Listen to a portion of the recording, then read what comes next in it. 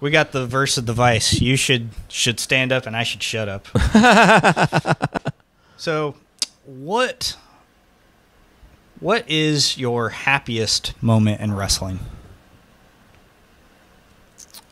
My happiest moment in wrestling was walking out in front of those people at the North Charleston Coliseum, coming out to "We Are the Champions" by Queen, and addressing all those people and calling them a bunch of stupid morons, and telling them that the Stingrays were a bunch of figure skaters and they were losers. and uh, yeah, being in front of that crowd, that and and it was so early in my career too, and it was like, man, how can I ever get back to that moment? you know, because you, you're always searching for that. You know, it, it, it, wrestling can be like a drug sometimes. You want that high, and um, I just remember looking around and I was like, man, a lot of people stayed for this. You know, because it was set up right after a Stingrays game. Ric Flair had actually done autographs that night, and um, so we're there, and it's like all these people, and they're just beating on the glass, like a bunch of drunk hockey fans, and and I was like, I had Mike Nova and Mac Truck with me, and we were the tag champs for that promotion, and uh, and I just said, yeah, I said, I figure you, you know, you people, since you stayed for, you know, stayed to watch the wrestling, figure you'd like to see what a real couple of real champions look like. it's like, you know, oh, when's the last time y'all won the Kelly Cup? 1995. I was like.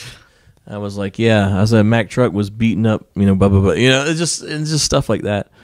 And uh, one guy's like, he looks like he's like hanging over the railing. He's got like half full beer, and I was like, hey, I thought they cut you off after the third period or something like that. And he's just like, yeah, I can't even tell what he's uh, what he's saying to me. And I'm like, yeah, have another, and then drive home, you jerk.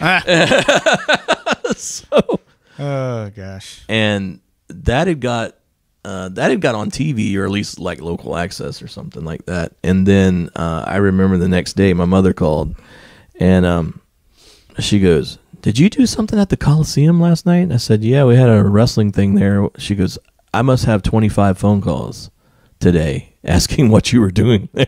I was like, Thanks I was for like, the support. Well, I was like, you know, you don't talk. My mother never liked me wrestling, so you don't talk much about my wrestling career. So if people see me, they're gonna wonder wonder, wonder what I'm doing. I guess it's like, yeah, my phone is blowing up all morning. So sorry. It's like, price of fame. it's all legal. they didn't. They didn't have my number, so they couldn't blow my phone up. So Gotta keep that stuff on the D and DL.